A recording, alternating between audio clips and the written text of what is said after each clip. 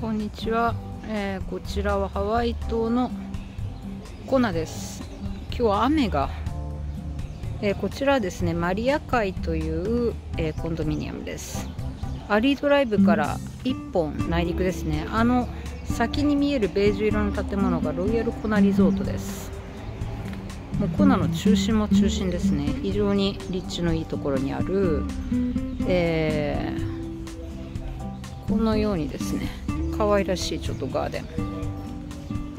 で面白いのが1階部分がガレージになっていて2階がリビングとキッチン3階が、えーお部屋という作りですね。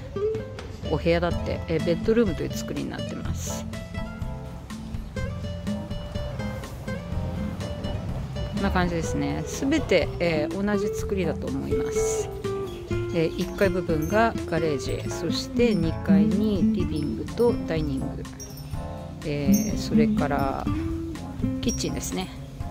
で3階部分がベッドルームと。こんな感じですね。この先がプールだと思います。ありました。プールですね。